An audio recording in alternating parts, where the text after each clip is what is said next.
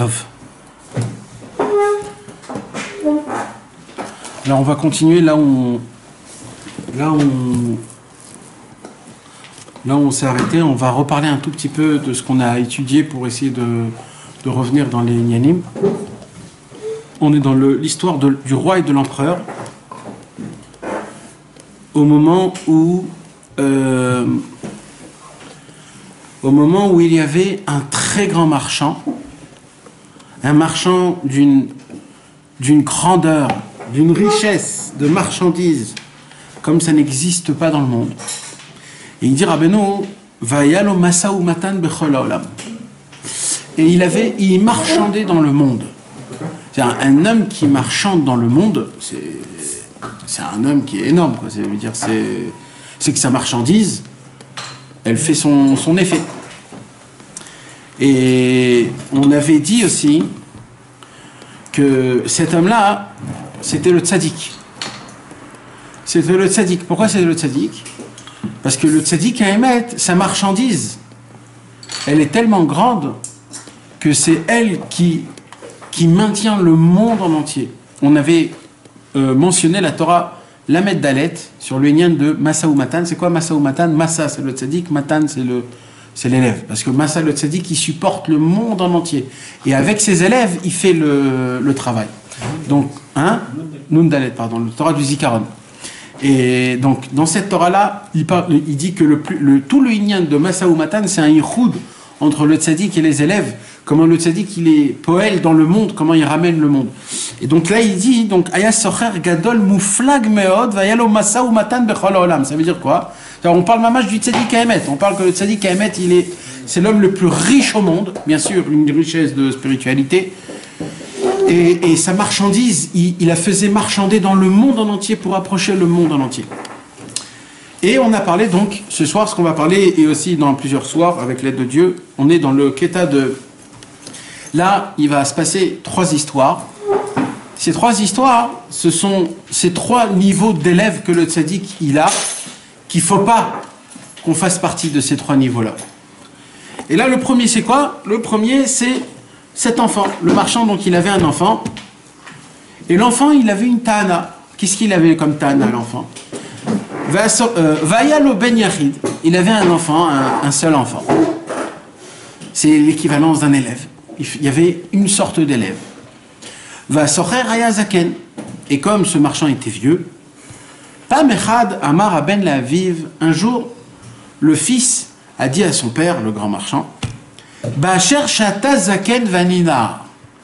L'enfant, il vient chez le papa, le grand businessman avec plein de marchandises, des marchandises comme ça n'existe pas dans le monde, etc. Et, il dit, papa, t'es un homme vieux, je suis un homme jeune.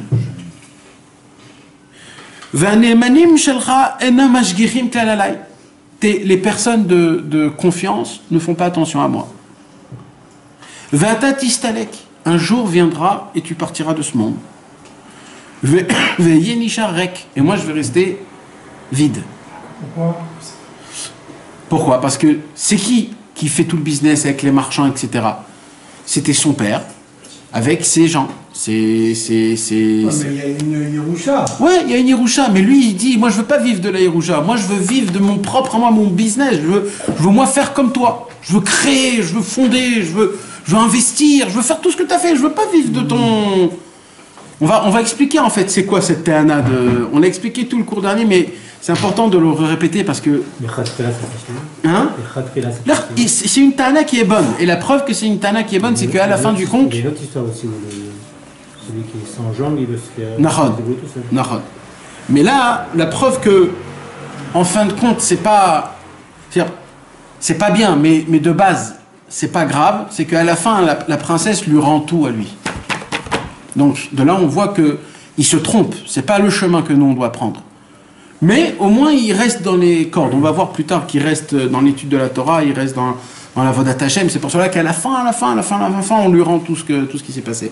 Mais là, là, là, il a un problème. D'accord? Donc, lui, il dit T'es un homme vieux, je suis un homme jeune. Et les personnes qui font du. Tes, tes personnes de confiance, ils ne s'occupent pas de moi. Ve'ata tistalek, un jour viendra où tu mourras. Veillez rek. Et moi, je vais rester vide. Euh, comment on dit euh, sans, sans argent, sans rien. Ni muni. Ni muni. Et là, qu'est-ce qui est écrit? Il dit Rabbeinu, regarde, vélo et dam ala asot. C'est pas qu'il dit euh, je vais peur d'être pauvre, par exemple. C'est pas ça son problème. Son problème, c'est vélo et dam ala asot. Qui dit ça? Le- Le- l'enfant. L'enfant, il dit je saurais pas quoi faire.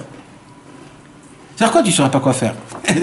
T'as plein de trucs à faire, tout ce que ton père t'a laissé. Non, mais c'est pas moi, ça, c'est mon père. Moi, moi, l'Oedam Asot.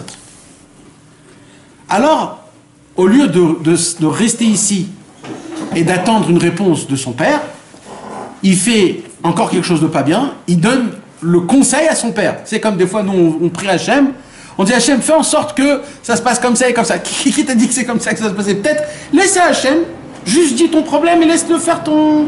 Non, là, il lui dit, Bechen, c'est pour cela. Tel l'isfina, donne-moi un bateau. Imsrora, avec ta marchandise, parce que ta marchandise, on peut que gagner avec ta marchandise. Ve'elech alayam, je vais aller dans la mer. Kedeliot baki pour être un, un, un expert dans la vente. Et Venatan lo aviv sfina imsrora. Son père lui a donné de la marchandise avec un bateau. Oui, si c'est ça que tu veux. Tu me demandes pas, tu vas pas demander euh, qu'est-ce que j'en pense ou mes projets que j'ai pour toi. Tu vas pas demander ça. Tu m'as juste dit donne-moi un bateau. Si c'est ça que tu veux, je te donne ce que tu veux. C'est pour ça qu'il faut faire très attention quand on prie Hachem. Parce que des fois on se dit peut-être Hachem, je sais pas, peut-être peut-être c'est bien cette situation, peut-être c'est pas bien, je sais pas, mais je, je te pose la question. Là il n'a pas posé aucune question. J'ai une question. Ouais. Là, on voit que le fils, il veut être autonome. D'accord? Ouais. Il veut partir lui, il veut faire lui-même ses affaires, il n'a pas envie de dépendre de son père. Ouais. Alors pourquoi la, la, la base, c'est la marchandise de son père? Pourquoi il n'a pas dit donne-moi un travail que je puisse mériter ma marchandise et partir avec? On va en parler de ça. On va en parler, c'est quoi le problème Le véritable problème du fils, on va en parler de ça. Et là, Bekitsour, son père, il lui donne ce qu'il lui a demandé. Parce qu'il lui a rien demandé à part ça. S'il lui aurait demandé un conseil, ou une vision, ou alors, euh, je sais pas, même des projets, peut-être des projets, ou peut-être... Il n'a pas demandé tout ça. Ve'alach lemdinot. Ce fils a pris le bateau, a pris la marchandise, il a voyagé dans, la mer, et il est, il est parti dans plein de pays. Et là, écoutez bien, mes amis. Umachar asrora, il a vendu la marchandise. Vekana asrora acheret, et il a acheté des autres marchandises. Veitzliach, et il a réussi. Biyoto alayam, en étant sur mer, Raou otan ailanot, il voit de loin des arbres. Et dit donc, il y a un pays, il y a, il y a quelque chose. Vesavrouch ou Ishuv. Et ils se sont dit, puisqu'il y a des arbres, donc il y a des habitants. Veratza Sham. Donc il s'est dit, je vais aller là-bas pour continuer à faire du business. Ou Kshenit Karvou, Raouchem Ilanot. Quand ils se sont approchés, ils ont vu qu'en fait, il n'y avait pas de Ishuv. C'était pas un endroit où il y avait des gens, où il y avait des habitants. C'était juste des arbres, c'était une petite île. Veratzu Larzor. Donc, ils ont voulu repartir. Jusqu'à là, ça s'arrêtera Benoît. Donc, nous, on a expliqué de cette manière, d'après Rabbi Nathan, comme quoi donc le tzaddik, c'est le marchand. Et le tzaddik, il a plein de marchandises. Et ces marchandises, c'est des marchandises que, dans tous les cas, c'est des marchandises qui sont gagnantes, qu'on peut que gagner avec. Et là, le fils, c'est une sorte d'élève, où lui, il dit, écoute, on avait expliqué comme ça, Bacher Shata Zaken Vanina. Il a vu le marchand en tant que euh, vieux et lui en tant que jeune. Abinatan, on- il a expliqué de cette manière que, en fait, quand il a vu son père vieux, en fait, c'est lui qui s'est vu comme vieux. C'est quoi un homme vieux? C'est un homme qui connaît, parce que cet homme-là, il connaissait la Torah, la Vodat Hashem, mitzvot, etc. C'est le fils du marchand. C'est le meilleur au monde pour se connaître dans, le business. Il connaissait tout, mais il était vieux.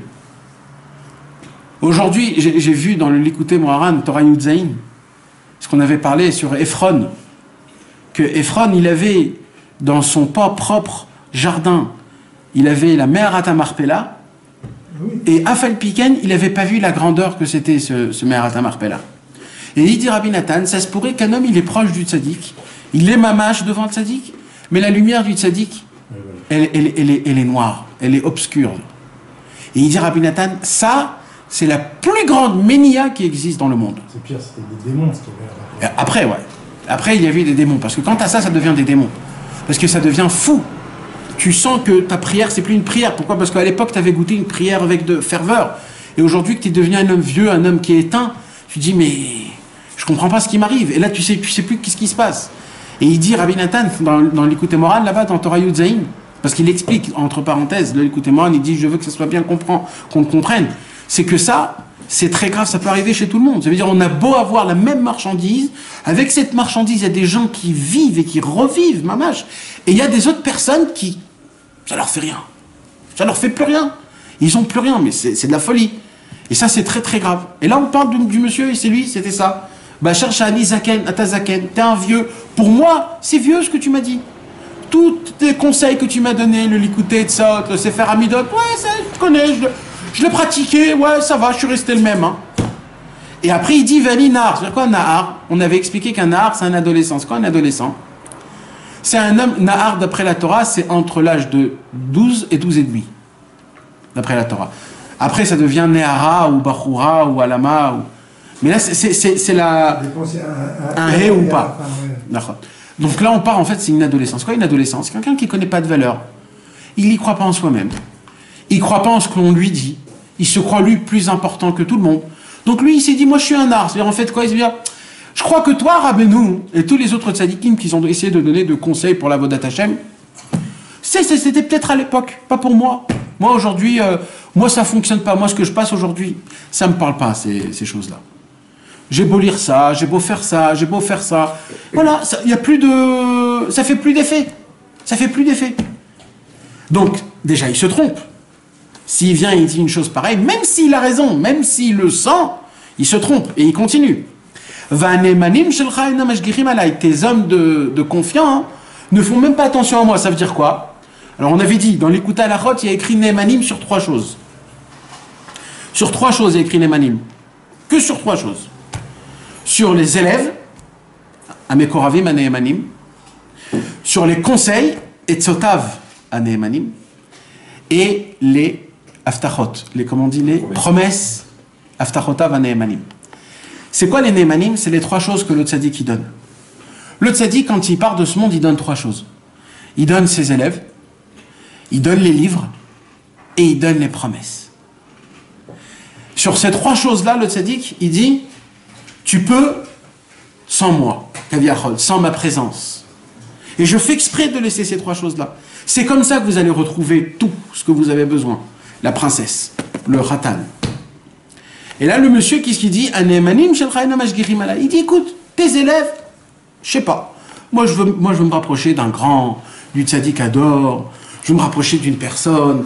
Je veux voir un, homme. Je veux entendre de sa bouche. Je veux lui poser des questions et qu'il me répond. Je veux quelqu'un. Je veux pas des élèves. Je veux pas des sous.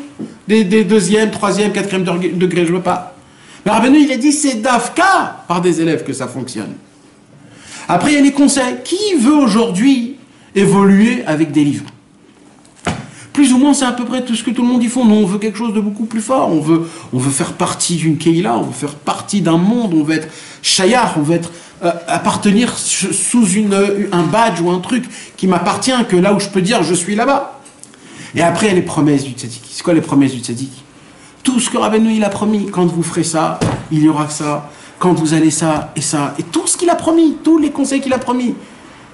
Rabbeinu il a dit jamais on prendra une neshama de mes élèves s'il n'a pas terminé euh, ce monde. Je l'ai obtenu de Akadosh Baruch. Que tout Chassid Breslev qui part de ce monde, c'est qu'il a, a terminé son... C'est une aftacha Rabbeinu il a dit si on amène un enfant avant 7 ans à Ouman, on le, on le, on le... C'est une aftacha Il sera propre jusqu'à le, mariage. Après, et, et ainsi de suite, et ainsi de suite, et ainsi de suite. Toute l'aftachot qu'il y a, que, que Rabbeinu il a promis. Vani Chazak Bézé. Rabbeinu, il a dit, je suis fort dans ça. Quand Rabbeinu, il a dit, le désespoir n'existe pas. Eh, il faut être très fort de dire le désespoir n'existe pas. Combien de tzadikim énormes, ils ont dit que oui, si t'as pas la Torah, si t'as pas ça, si t'as pas ça, le désespoir, il existe. Rabbeinu, il a dit non, le désespoir n'existe pas. Si tu tiens toujours à Hachem, même si tu es vide de Torah et de mitzvot, mais tu y tiens, tu y tiens, tu y tiens, tu sortiras à la fin de compte. Rabbeinu, il a dit. J'ai gagné et je gagnerai. Dans tous les côtés, je suis gagnant, il a dit Rabbeinu. C'est une avtacha, ça. Gamarti mort. Je vais terminer, il a dit Rabbeinu.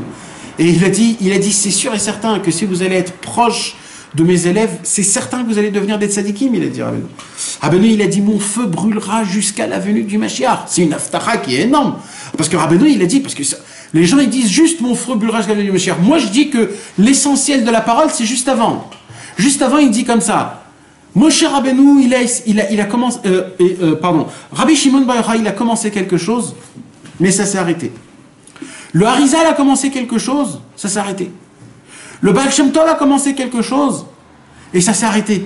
Et il dit, moi, je voudrais faire que ça continue jusqu'à l'éternité. Et là, il a dit, mon feu brûlera jusqu'à Mili Mashiach. Ça veut dire que le Inyan de Rabbeinu, c'est venu à la fin, avec, une géné- avec des centaines de générations, que des tzadikim énormes qui ont voulu réparer le monde, ont fait quelque chose, mais quelque part, ça s'est arrêté. Moi, je vais le faire que ça va continuer. Ils ont essayé, en fait. Et ils ont, essayé- non, ils ont réussi, mais ça s'est arrêté. pour ça Pour- qu'il dit qu'il y a Baola. eh ben, c'est pour ça.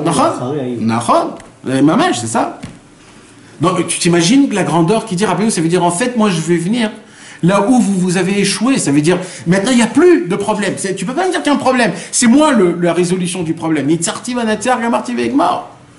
Maintenant, ces, paroles-là, quand tu les dis et quand tu les vis, quand tu es proche du tzaddik, que tu le veuilles ou pas, tu es inclus dedans.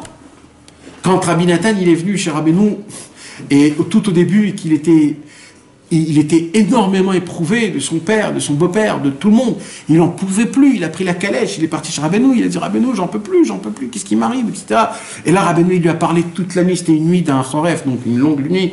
Il lui a parlé toute une nuit, il a senti Rabbi Nathan un vent de vitalité. Il a dit, je, sentais que je pouvais conquérir le monde en entier avec, le renforcement que Rabbeinu m'a donné pendant des heures de Hitraskout, des heures. T'imagines d'entendre des heures de Hitraskout de Rabbeinu?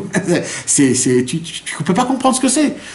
Et, et, il lui a dit, t'inquiète pas, je t'ai pris dans mon sac. Et Rabbi Nathan, il a dit, alors attrape-moi fort. Premier. Ah, faire le bien, que je ne sors pas de dedans. Ça, c'est une aftara, ça, mes amis. Vous croyez que Stam Rabbi il a écrit une parole personnelle de lui euh, dans un livre? Non. Tout homme qui se rapproche du tzaddik, nous, on peut pas dire. On peut, je sais pas, mais c'est difficile de dire je suis un chassid Breslev. C'est aujourd'hui, c'est devenu un badge, c'est devenu un- une étiquette. Donc aujourd'hui, c'est très facile. Shalom. Donc aujourd'hui, c'est une, étiquette où tu peux dire facilement euh, euh, je suis Breslev. Mais euh, en vérité, le, le mot je suis Breslev, c'est un, niveau qui est énorme. C'est une honte de dire. C'est une honte. Aspirant, Breslev. Asp- ah, exact. Aspirant Breslev. Rabbi Israël, il n'a pas voulu. Il a dit J'ai peur, peut-être je me suis pas levé une nuit. Il a dit Peut-être je me suis pas levé une nuit à Hassan. peut-être. Rabbi Israël Cordonneur, on a écrit Breslever sur ça, sur ça. Parce que lui, c'était un Breslever. Mais moi, Breslev, co- comment je peux dire que je suis Breslev? Nous, on peut dire, par contre, que notre maître, c'est Rabbeinu. Ça, c'est certain. Mais que je suis son élève, ça, je ne peux pas dire. Mais ce qui est sûr, c'est que moi, mon maître, c'est Rabbi Nachman. Quand tu dis ça, ça c'est c'est une autre pareille. Mais quand tu dis ça que mon maître, c'est Rabbeinu, automatiquement, tu rentres dans le sac du tzaddik. Le tzaddik, le, le tzaddik, il peut plus, c'est terminé. Rabbeinu, il a dit, un homme qui a touché l'épaule d'un homme qui m'a connu. Même un homme comme ça, je vais m'occuper de lui. Rabbi Israël, il a dit, ça suffit juste d'ouvrir une kricha d'un livre de Breslev pour que Rabbeinu s'occupe de toi. Comme ça, il a dit Rabbi Israël. Au tout début, quand ils ont imprimé le kit V rouge, le premier, le kit V, le gros, tu te rappelles du gros, et, les gens, ils faisaient de la fata et personne n'achetait à Meron. Personne n'achetait, personne n'achetait. À l'époque, il n'y avait rien. Il y avait, à l'époque Israël, il y avait, un- il y avait Eliezer Lorenz qui mettait une, une, une table à Meron, et, et tous les livres restaient. Personne n'achetait, personne. Et il est venu chez Rabbi Israël. là. Vous connaissez Oui, c'était tout nouveau, c'était tout nouveau, il y avait, ça n'existait pas encore rien. Il est venu chez Rabbi Israël et il dit, toi continue à mettre la table, continue à rester, ça suffit qu'un homme, il juste il ouvre pour voir c'est quoi ce livre. Rabbeinu, il va s'occuper de lui après. Juste toi fais ton travail et, et ça fera son travail. Ça veut dire, ça veut dire que Rabbeinu là, quand cet enfant là, bah, c'était, c'était, c'était à peu près deux ans avant qu'il parte, Rabbi Israël. Donc, euh, c'était à 20, 28 ans, 29 ans. Un truc comme ça. Ouais, il est parti en 95. hein. En 95, donc deux ans avant, 93. 93, ça fait Ouais, 23 ans 25. 25 ans. Mais Vadaï, c'est c'est grâce à Rabbi Israël. C'est Rabbi Israël qui a révolutionné le monde. Par des pleurs et des cris qui- qu'il a fait avec Rabbi Israël Cordonneur, C'est ça qui a, qui a ouvert la porte de toute la fatsa dans le monde entier, de la, de la reconnaissance de Rabbeinu, comme quoi c'est, c'est, c'est, c'est le vrai guérisseur du monde et que c'est quelqu'un qui veut servir à Kadosh Baruch Hu, il, il- il ne peut que passer par, par Rabbi Nachman, c'est le seul qui donne des paroles de, de Maïm Chaim, Al-Nefesh Hayefa, comment on dit, c'est de l'eau vivante à, à une, à, une, âme à une âme qui est fatiguée. C'est, vous vous rappelez le, le pchipchit à l'époque euh, en France, à Deauville, quand on mettait Evian. le, le Evian là, le- avec les. Rémisateur. Le, ouais, c'est ça. C'est, de la fraîcheur. Quand il fait chaud, tu te mets un peu de truc. C'est de la fraîcheur. Brise, brise. Brise. C'est un exemple, hein, je- Mais ça veut dire. Ça marche. Ouais. Et, mais c'est un peu ça. Rabbeinu, il est venu dans des Neshamot aujourd'hui complètement fatigué. On est vraiment fatigué. On est vieux, on est fatigué. On est. Et, c'est cet enfant-là. Là, Rabbeinu, il nous apprend comment il ne faut pas être. Parce que ce monsieur, il a dit, il a dit un petit peu, vous savez, ce ridouche-là, je l'ai dit à quelqu'un. Il m'a dit, c'est faux ce que tu dis. Je dit, pourquoi? Il m'a dit, parce que qui dit aujourd'hui que Rabbeinu, c'est ancien ou personne dit? Et moi, j'ai réfléchi, je lui ai dit, tu sais, mon frère, le fait est qu'un homme, il va, à part Rabbeinu, voir des autres personnes, chez Rabbeinu, chez des rabbins ou des gens ou des trucs, ça s'appelle que Rabbeinu, il n'a pas assez de force. C'est ça que ça s'appelle que Rabbeinu, il n'a pas assez de force. Quand un homme, il dit, je ne peux pas comprendre de l'écoutement, il faut que je passe par des, par des gens ou des écritures, etc. Ça fait partie de dire que Rabbeinu, ça lui a pas suffi. Ça lui suffit pas. Il a besoin. Donc, il est tollé un chisaron, c'est-à-dire un, un, un, un manque dans chez le tzaddik. Comme quoi le tzaddik n'a pas tout fait. Rabbi Israël, il a dit, Rabbeinu kvar echin lanu, akol. Rabbeinu, il nous a tout préparé. Il n'y a pas quelque chose. C'est comme une table. Sur la table, il y a tout. Ça n'existe pas que tu veux quelque chose il n'y a pas sur la table. Sinon, Rabbeinu, il, a- il, a- il s'est trompé. Ras Shalom, ça n'existe pas. Et les gens qui disent je ne peux pas parce que, là, tu, fais montrer comme quoi, oui, il a raison, ce- cet enfant. Il vient chez le papa, il dit je m'excuse, ce que tu, ce est écrit, c'est difficile pour moi. Quand un homme, il vient, il ouvre l'écoutez-moi, il dit ouais, mais ça, c'est pour les tzadikim, c'est très grave de dire ça. C'est pour ça que Rabbi Nathan est venu dans l'écoute à la rote, il nous a fait montrer comment tout le l'écoute moran, il est accessible. Et il est pour nous, même pour des gens qui font pas Torah au mitzvot. Même pour des gens qui font Torah au mitzvot. Même pour des tzadikim énormes. Et même pour des athées total, total, total. Et c'est sur ça qu'on va parler ce soir, mes amis. Ou des non-juifs. Ou même des non-juifs. Alors, ça, pour ça, il y avait une grande histoire. Un jour, Aaron Patz, il a raconté qu'un jour, Rabbi Israël, il lui a dévoilé certaines Torotes qui sont faites pour les goïms.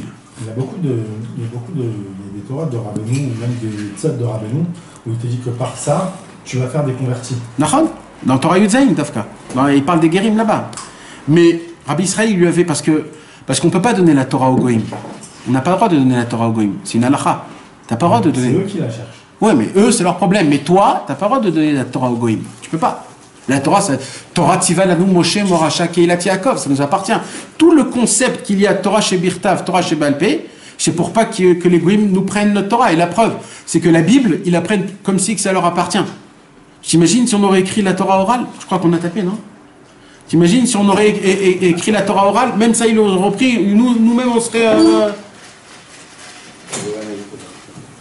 Il est parti. Et, et donc, donc on n'a pas le droit d'étudier. Mais Rabbeinu a dévoilé des Torahs même pour les goïms.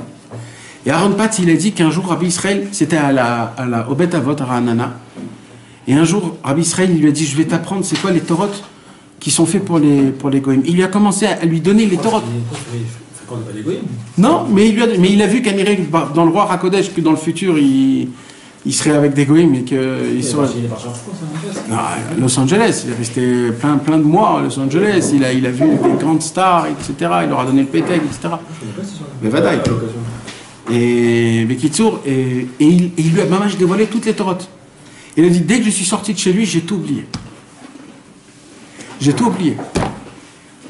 Et un jour, un jour, il est venu chez moi à Rampatz, et on parlait comme ça, on parlait. Et je lui ai fait montrer le premier devait que Rabbi Israël a sorti. Rabbi Israël, à- l'époque, il y a très longtemps, très longtemps, il y a peut-être euh, 50 ans, 60 ans, il avait rapproché un homme qui s'appelait Rabbi Yitzhak Isaac Zilberman. C'était un grand chiloni, c'était son premier chiloni à Rabbi Israël. Il habitait à Tel Aviv, Rabbi Israël raconte plein d'histoires sur lui. comme quoi il prenait trois bus pour y aller, trois bus pour re- retour. Une très longue histoire, très très longue histoire. Et à la fin de compte, un jour, à Isaac, il vient chez Rabbi Israël, il dit Rabbi Israël, je me suis un petit peu rapproché de le judaïsme, je me suis un petit peu rapproché de ça, je me suis un petit peu rapproché de ça. Voilà, je, fais un peu des conseils de Rabbeinu, je mais je sens pas que, j'avance vraiment. Dis-moi une chose à faire où vraiment je vais changer. Rabbi Israël lui dit imprime Torah ou Tfila. À ce même moment, il a rentré sa main dans la poche, il a sorti de l'argent, il a dit tiens, prends l'argent. Rabbi Israël, il s'est mis à pleurer comme un petit bébé, comme ça il raconte. Il s'est mis à pleurer, il a dit moi, ça fait des années que je rêve d'imprimer un livre ou de faire. Et toi, tu viens comme ça, je te dis directement, tu sors l'argent comme si. Et Isaac, il raconte que du pleur que j'ai vu, comment Rabbi Israël pleurait, il dit ça m'a changé toute ma vie.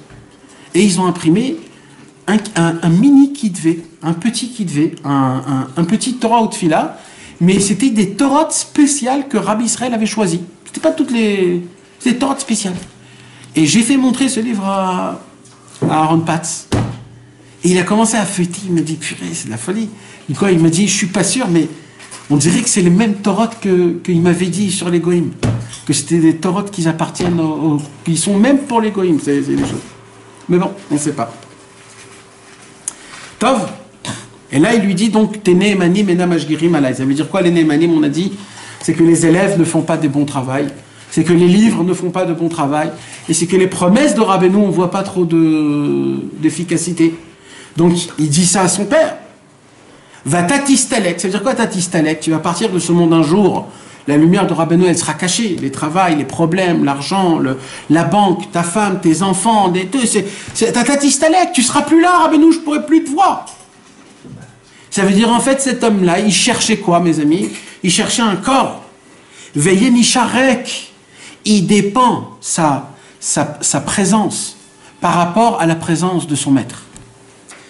Et là, il dit Velo eda malasot. Et là, je serai en plein métahavot, en plein mon Yetzirara, et je ne saurais pas du tout quoi faire.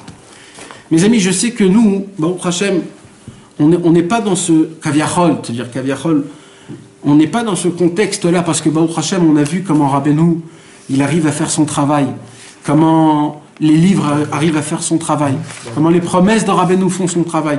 On a la que Rabbeinu, il va nous, nous sortir BMF de tout ce qu'il faut. Mais moi, je voudrais parler d'un point parce que le monde a besoin de, parler, a, besoin de comprendre ce point-là. Il y a des gens aujourd'hui qui croient que comme Rabbeinu est parti de ce monde, on a besoin d'une présence. On a besoin de quelqu'un, d'une personne. Et même s'il n'y a pas une seule personne, alors ils prennent, on va dire, une grande personne des élèves de Rabbeinu aujourd'hui, entre parenthèses, et quand ils prennent, au lieu de rester euh, normal, ça veut dire euh, c'est juste un plus grand connaisseur, c'est juste un homme qui a plus de, comment on dit quelqu'un qui a de la, La connaissance. non mais du, du Nisayon, il a de la, L'expérience. il a de l'expérience. Normalement, ça doit s'arrêter à là. Mais eux, ils font un peu plus que ça. Ils commencent à dire c'est le tzaddik. Ils commencent à dire c'est un très grand et on ne peut pas passer sans lui. Ils commencent à faire de lui quelque chose. Vous savez, mes amis, il y a des gens qui croient que les Chassidés Breslev, ils sont nés il y a à peine 20 ans. Et que tout Breslev est né il y a 20 ans. Mais ils ont oublié que Rabbeinu est mort il y a 200 ans. Et que pendant 200 ans, jusqu'à aujourd'hui, il n'y a jamais eu des têtes des grands qu'on les appelle des tzaddik. Il n'y a jamais eu, il n'y a jamais eu. Les gens ils croient que c'est normal qu'aujourd'hui il y a, le tzaddik intel chez Breslev et le tzaddik intel chez Breslev et le tzaddik intel chez Breslev. Jamais ça n'a été créé. Alors une fois, ça a été créé, une fois. C'était en Pologne, mes amis. En Pologne.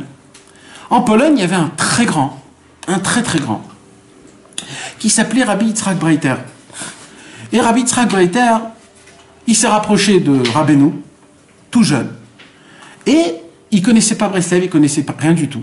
Il a envoyé une lettre à Ouman, il savait même pas à qui, donc il a envoyé à une librairie à Ouman, en disant Je suis un Breslev de Pologne, je voudrais que les Chassidés Breslev m'écrivent, m'écrivent chacun un petit mot. Et que. Et c'est ce qu'ils ont fait. Ils ont écrit chacun un petit mot. Parmi eux, il y avait Rabbi Shimshon Barsky. le petit-fils de Rabbi Nachman, celui qui a écrit Etzot Mevorot. Un homme très érudit, un homme très posé, un homme très, un très grand tzaddik. Rabbi Shimshon Barski, c'était un homme de très grande valeur. C'était le copain de Rabbi Israël Cordonneur. Eux deux, ils étaient des talmidim de Rabbi Moshe Breslever. Eux deux ensemble, ils ont grandi ensemble. Et Rabbi Shimshon Barski il lui a envoyé une lettre. Israël, il l'a connu. Rabbi Israël Ber? Non.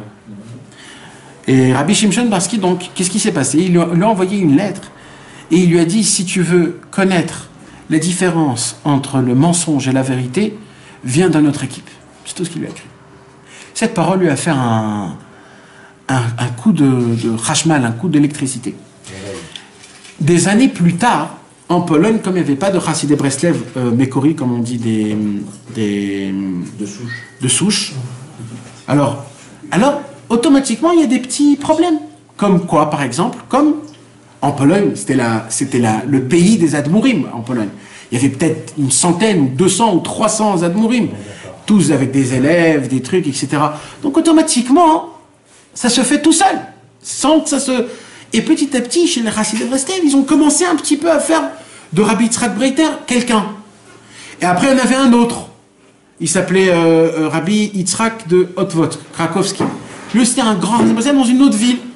Et c'était vraiment des grands, c'était vraiment des très grands. Et ils ont aussi commencé à faire un petit peu de lui euh, quelque chose. Et ça, il avait, vu, quand il voyageait à Ouman, à Rosh Hashanah, ils avaient vu, les Chassidés Breslev anciens, que il commence à se passer des choses un petit peu bizarres. C'est-à-dire, par exemple, et c'était quoi les choses bizarres qu'ils voyaient? Regardez jusqu'à où ça va. C'était par exemple euh, qu'on on était Mechabed Otto, on, on, leur faisait euh, comme honneur. C'était quoi l'honneur qu'on faisait pour eux? C'était que lui faisait le kidouche. C'était ça le, le, le, le grand kavod. C'est que c'était lui qui faisait le kidouche. Pas maintenant lui embrassait les mains ou alors on lui appelait. C'était juste c'est lui qui faisait le. le... Et Rabbi Shimshon avait vu ça. Et il a dit, je vais leur mettre bien en place. Le kibbutz de Rosh Hashanah, il s'est terminé. Ils sont tous repartis en Pologne, chacun dans ses... Et Rabbi Shimshon Barski a écrit une lettre. Mes amis, cette lettre, ça vaut de l'or. Aujourd'hui, cette lettre, ça vaut de l'or. Nous, on a lu une autre lettre. Moi, je parle d'une autre lettre. Ouais. Cette lettre, ça vaut de l'or. Hein? Dans, euh, dans- à la fin de Etzot Mevoharot, il y a un livre qui s'appelle Gvurot Shimshon. C'est toutes ces lettres, il n'y en a pas beaucoup. Et ils sont tous adressés en Pologne. Pourquoi? Parce que Rabbi Shimshon les adressait. Il leur a dit, écoutez les gars, vous, vous savez pas ce que c'est Breslev, Ouman, Rabbeinu, vous connaissez pas. Il dit, chez nous, il n'y a pas de tête. Il y a une seule tête. Il dit, vous connaissez un homme qui a plusieurs têtes Non, il y a une seule tête. On est tous les élèves. Alors il dit, bien sûr, par contre, il y a, y a, plus de, y a des gens qui ont plus de connaissances et aussi, ce qu'on a dit, du, du Nissan, comment on dit De l'expérience. Et il dit maintenant, quand vous quand vous savez pas quelque chose et que vous avez besoin de savoir comment, vous demandez aux personnes qui sont faites pour ça, qui ont plus de connaissances et qui ont de la de l'expérience, mais que ça soit des choses pas pratiques, c'est-à-dire pas des choses particulières, c'est-à-dire comment je dois faire avec ma femme, comment je dois faire avec mes enfants, euh, que ça c'est des choses que c'est personnel. Personne au monde peut te répondre. Mais dans le quotidien, c'est-à-dire dans le concept du, du, du texte, il faut aller voir chez les gens qui connaissent. Et il dit, et même ce qu'ils vous disent, il faut prier sur ce qu'ils disent. Faut prier Hachem, pour- si c'est le bon chemin. Et il dit, Chazve Shalom, de prendre tout ce qu'ils disent à la lettre. Chazve Shalom, même au plus grand, il dit. Même au plus grand. Parce que même ce que Rabbi Nathan nous a appris, c'était même avec les paroles de Rabbeinu, il fallait prier. Donc maintenant, de enlever ce, ce là maintenant, même en bas chez les élèves, c'est, c'est très grave. Et il dit, faites très attention parce que vous pouvez être les plus graves au monde. Et maître, quand cette lettre est venue, tout de suite, tout de suite, ils ont mis un panneau à l'entrée de, la... Cette lettre, ils l'ont imprimée en grand, ils l'ont mis en panneau, et ils ont fait ce, ce. Ça n'existe pas. Et depuis, ils appelaient tous Yitzhak Breiter, plus Rabbi Yitzhak. C'était du émet, c'est-à-dire c'était quelque part. Ils, ont, ils ont, ils ont, ils ont. Et, malheureusement aujourd'hui, alors pourquoi c'est ce concept? Parce que je comprends les gens qui veulent quelqu'un. Je comprends les gens qui ont besoin de. Ça. Hein? Mais mis à part, mis à part c'est c'est c'est plus normal. C'est plus normal. C'est c'est c'est c'est c'est c'est normal. Attends, d'où on vient? Oui, oui. D'où on vient, ça, ça, c'est le minimum des choses. Nahon, c'est le minimum. C'est le minimum. C'est normal. Alors, mes amis, pour ça, il y a une réponse qui est très simple, mais très, très, très importante. savez, j'ai lu juste Shabbat dans un livre qu'il explique le mot Chormat Kodesh. Le mot Chormat Kodesh, la sagesse sainte. C'est quoi la sagesse sainte? La Torah. Il n'y a aucune sagesse qui s'appelle une sagesse sainte. Nahon Alors, ce tzaddik-là, il essaye d'expliquer ça veut dire quoi sagesse sainte? Alors il dit c'est simple. Nous, on sait, la Torah nous dévoile qu'il y a dans le monde, tout se regroupe par sept sagesses, les Shiva Chormot. D'accord? Toutes les sagesses qui existent aujourd'hui, ça se.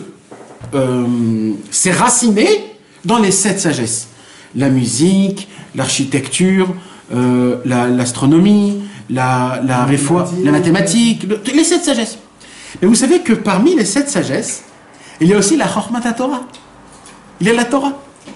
Comment c'est possible que tu mets la Torah parmi des sagesses Ça veut dire quoi ça? C'est une sagesse qui est. Moi, je croyais que c'était. Non, non, non. Dans les Shiva Chormat, il y a aussi Chormat Torah. Ça fait partie d'une sagesse. Et ça, c'est une grande là. Alors, comme ça, on explique. Comme ça, c'est écrit dans le livre. Écoutez bien, mes amis. Il dit comme ça.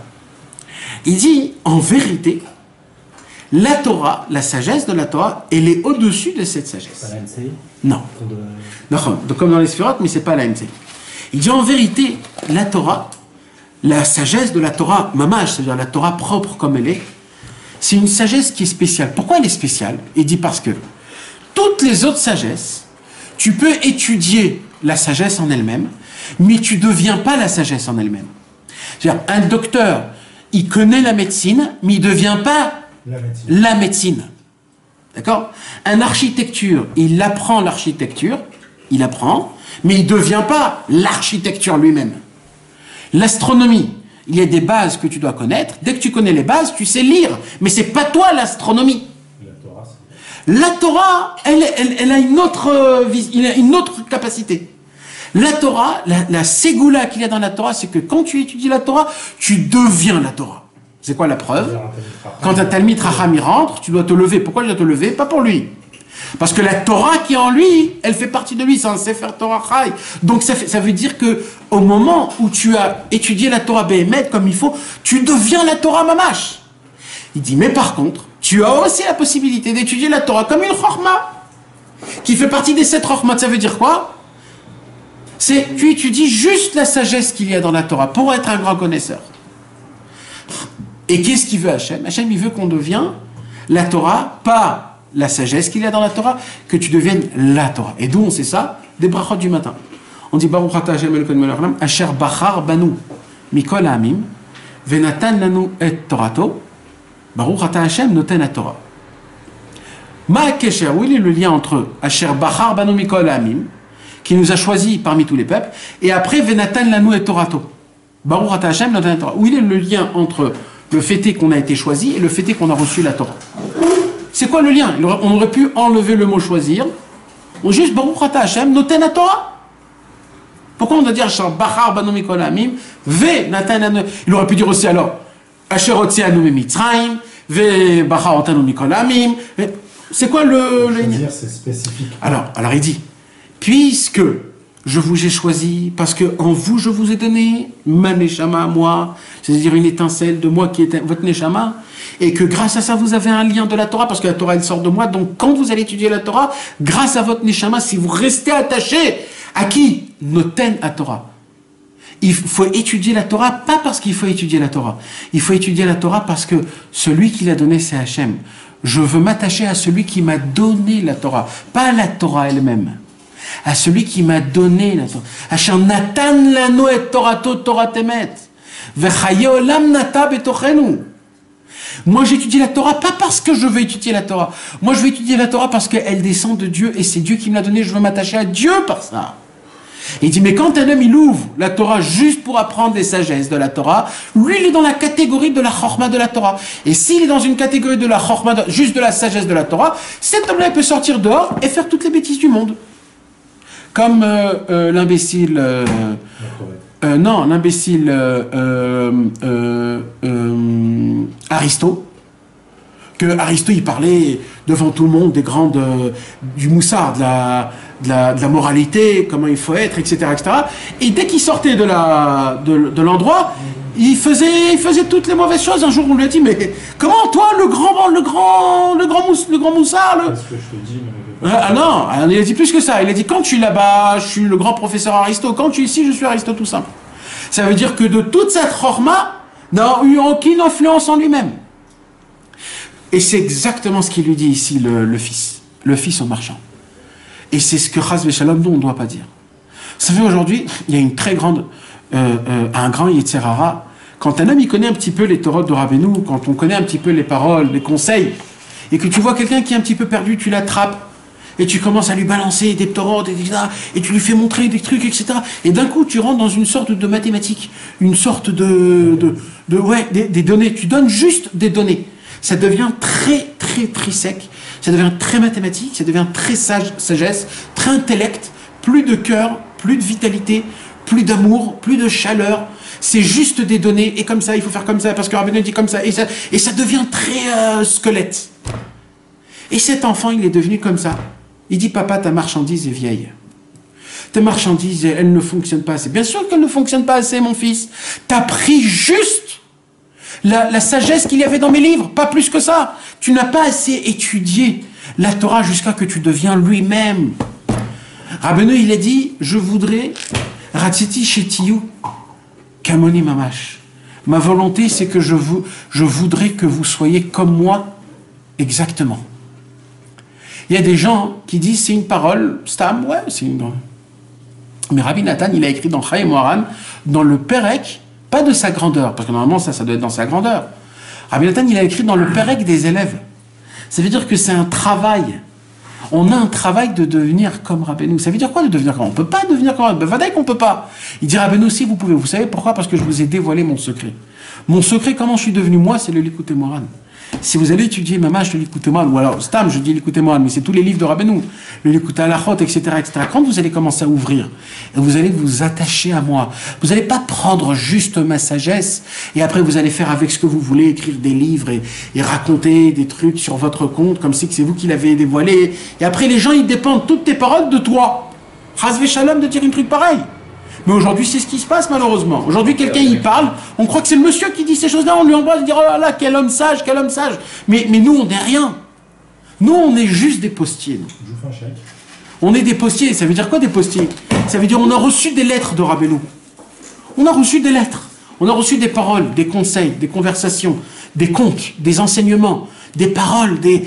On a reçu des choses de Rabbeinu. Nous, on n'a qu'une seule chose à faire, la prendre telle qu'elle, sans rien ouvrir, sans, lire, sans rien.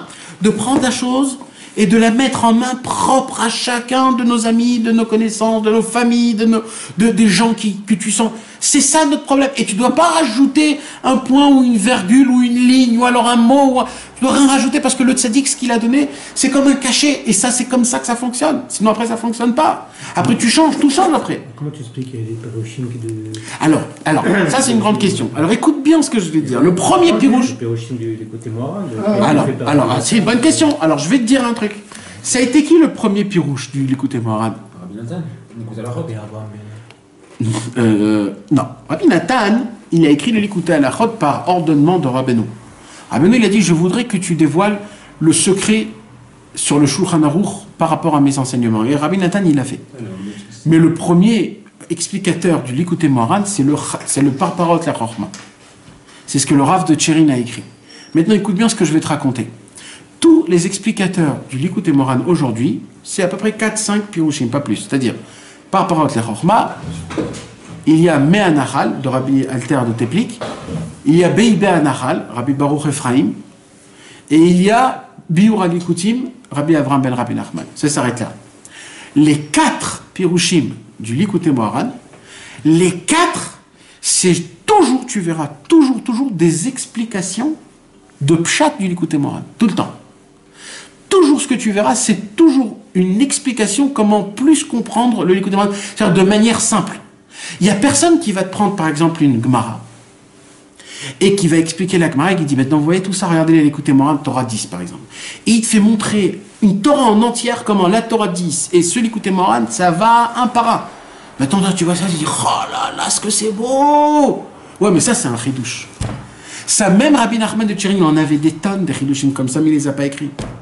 Parce que personne peut écrire. Et même quand le Paparot Lechorma est sorti sur l'écouté Moran, il a eu beaucoup de, de, Controverse. de controverses. Des gens sont venus, il lui dit comment tu oses, comment tu fais des choses comme ça? Mais maintenant, bon, nous, on est. un- Aujourd'hui, ça a été reçu, Bevadaï, on reçoit et c'est.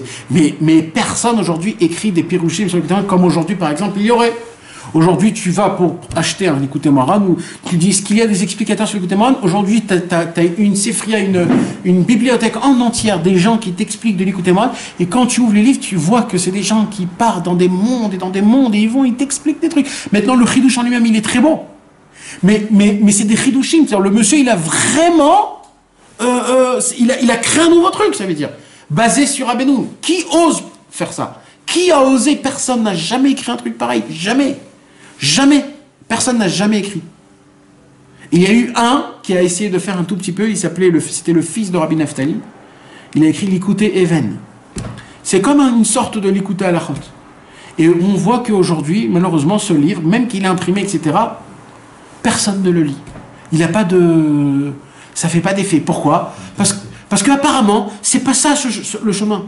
Le chemin, c'est qu'on doit rester propre à, ce que Rabbeinu dit. Comment toi tu le comprends? Comment Taneshama elle comprend? Tu comprends pas? Eh ben il faut pleurer. Il faut demander pardon à Hachem et tu comprendras demain. Et si pas demain, eh ben après-demain.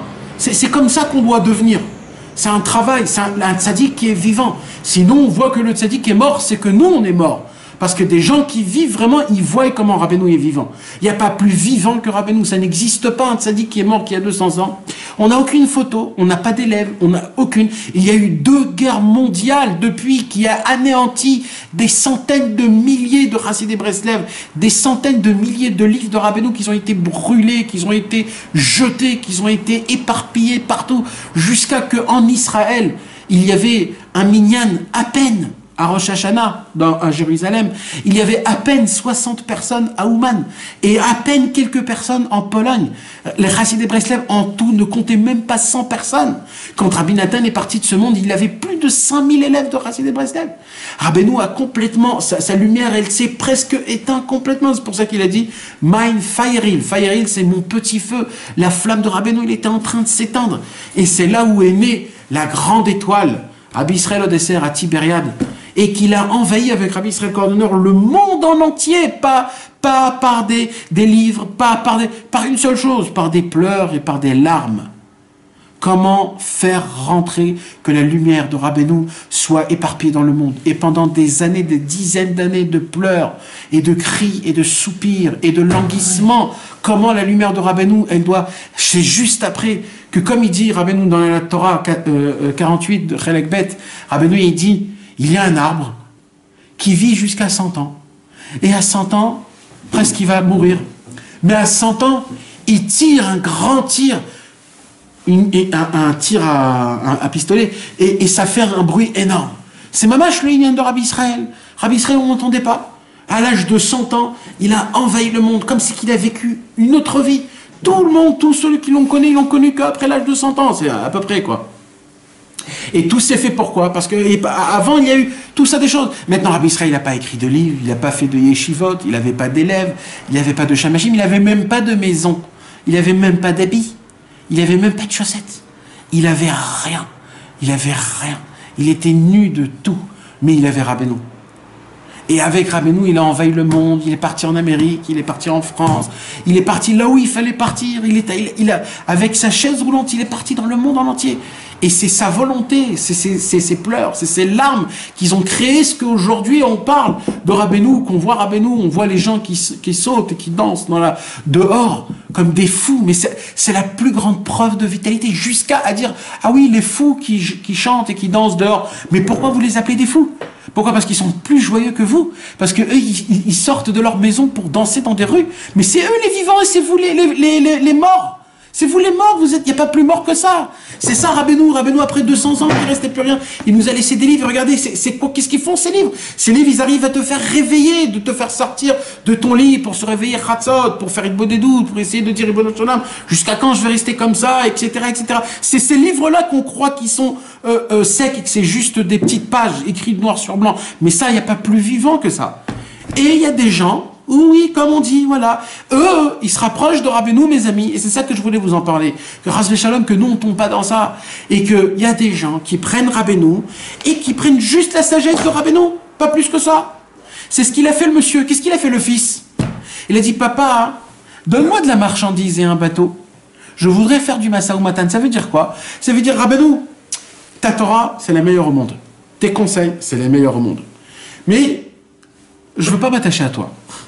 Je veux m'attacher à quelqu'un de vivant. Pas à un vieux, qu'il va mourir, il va me laisser tout seul. Je veux m'attacher à quelqu'un de vivant, un jeune. Donc donne-moi ta marchandise, ça veut dire donne-moi ta Torah. En fait, ça veut dire donne-moi l'intelligence, l'intellect de la Torah. Et après, je vais faire mon business à moi avec ta Torah. Ça veut dire quoi? Moi, je vais étudier une autre Torah. Je vais faire avec ça une petite salade shakshuka. Je vais la revendre à, des autres élèves que je vais créer. Et je vais faire. Et là, qu'est-ce qu'il dit Rabbeinu? Il dit Rabbeinu, tout simplement, il dit ten lisfinaim velech kedeliot baki bemasa aviv. Le tzaddik lui a donné. C'est ça que tu veux de moi? Il dit le tzaddik. Moi, il dit le tzaddik. Rabbeinu, vous savez, il y a une grande question que Rabbi Shmuel Horvitz avait posée à l'époque. Il avait dit entre Moshe Rabbeinu et Rabbi Shimon Bar Yochai, les deux grands tzaddikim qui ont révolutionné tout le judaïsme, il y a à peu près 1000 ans ou 2000 ans.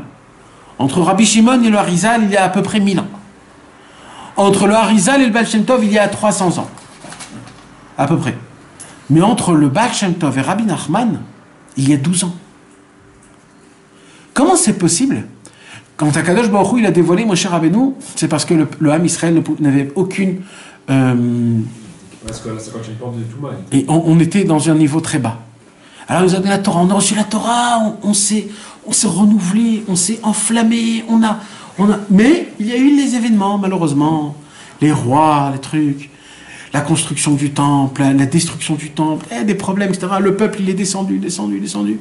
Ce il a dit tout de suite, il faut tout de suite amener Rabbi Shimon Bar Yochai. Et là, le Zohar a été dévoilé, ça a révolutionné le monde, le monde s'est renforcé, etc., etc. Mais encore une fois, il y a eu les problèmes, les misères, les trucs, etc., les galères. Et malheureusement, on est descendu. Donc, Hu, il a dit, il faut envoyer le troisième Moshe Rabbeinu. Il a envoyé le Harizal. Le Harizal a dévoilé tout, tout ce que le Zohar a, codé. Et il a fait, le, le Harizal a fait montrer au monde comme quoi il n'y a rien qu'il ne connaît pas. Il voyait quelqu'un, il lui disait Toi, t'es 15 fois en Gilgoul, t'es enterré ici et ici, t'es revenu pour réparer ça, ton tikkun, c'est ça. Il n'y avait rien qui était fermé devant lui. Les gens, ils se sont renforcés, etc. Mais malheureusement, il y a eu encore des problèmes. Il y avait la pauvreté, il y avait des guerres, il y avait malheureusement beaucoup de pogroms. Et, et donc, il envoie le Baal Shem Tov. Le Baal Shem Tov va redonner la vie aux gens simples. Il a donné la possibilité aux gens les plus simples qui ne savent ni lire ni écrire que même Dieu leur appartient et qu'il faut parler avec Hachem et qu'il faut sortir dans des forêts et crier Dieu. Mais qu'est-ce qui s'est passé pour que Rabbeinu il vienne 12 ans plus tard? Qu'est-ce qu'il y a eu de, de- de spécial? Normalement, on devrait attendre encore quelques centaines d'années pour après emmener Rabbeinu. Et Rabbi Shmuel, Horvitz a répondu une réponse. Il a dit le Baal Shem Tov, quand il a, quand il a, quand Akadosh Baruch envoyé le Baal Shem Tov, le Baal Shem Tov, il a pris, il est descendu dans les endroits les plus bas. Et il a envoyé un vent de vie dans l'endroit le plus bas que toutes les Neshamot qui étaient là-bas. Ils sont devenus des tzadikim inimaginables. Qui sont devenus très, très, très, très, très hauts. Qu'ils ont brisé, cassé leur Yetzirara. Mais là, il y a eu un problème. Il dit, c'est quoi? Il dit, c'était que toutes les Netsutzot, toutes les étincelles saintes, qu'ils ont laissé tomber en bas, quand quelqu'un il a fait des péchés, il, il- il- il- perd des miettes de lui-même. Ça s'appelle des Netsutzot. Toutes ces miettes-là qui sont en bas, qui, qui va s'en occuper? Normalement, c'est qui qui s'en occupe?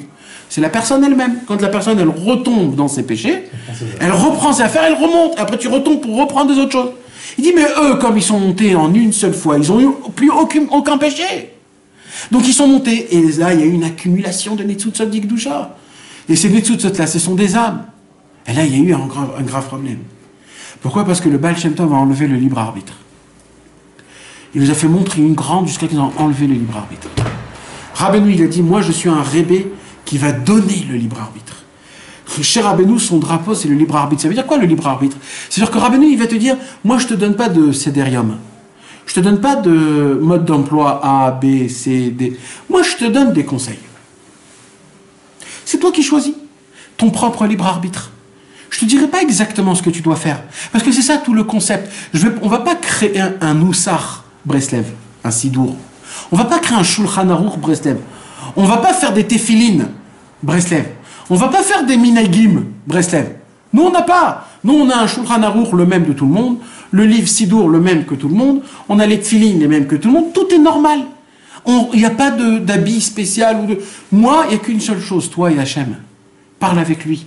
Akadosh Baruch va t'éclaircir. Tu vas ouvrir mes livres et Dieu il va t'éclaircir. Et c'est comme ça que ça fonctionne. Ça s'appelle la providence divine, la pratit. Et c'est comme ça que le monde va venir à sa fin. C'est en s'attachant à Kadosh Baruch pas en s'attachant à des, choses qui sont extérieures. Et, et après, tu fais les extérieurs, l'essentiel, et l'intérieur, tu l'oublies totalement. Et Rabbeinu, ce concept-là, il a dit comment on arrive à tout ça quand tu étudies la Torah du tzaddik, mais pas en étant intellect. Pour apprendre la Torah, pour avoir des connaisseurs. Oui, la Torah 1 veut dire ça, la Torah 2 veut dire ça. C'est écrit dans la Torah, c'est écrit dans la Torah, c'est écrit dans la Torah. Le monsieur, il connaît tout, il sait tout te dire. Mais comment il se conduit? Il se conduit comme un imbécile. Mais comment tu peux te conduire comme un imbécile? Tu connais autant de Torah. Un jour, Rabbi Moshe Breslever, on l'a vu étudier dans l'Ikuta Alachot.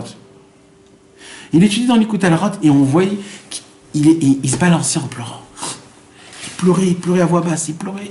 Il avait des larmes, des larmes, des larmes, des larmes, des larmes qui tombaient, des larmes qui tombaient. Alors il y avait un, un ami à lui qui s'est rapproché, il s'est dit waouh, peut-être il est en train d'étudier un Likuta à la euh, très spécial. Et il regarde Likuta à la comme ça, ou euh, ben, à Dinout, sans, sans que. ouais, discrètement, il essaye de voir dans quel halakha il est. Il est parti voir Likuta à la il a ouvert. Il a vu que c'était le papa. Ouais, pas.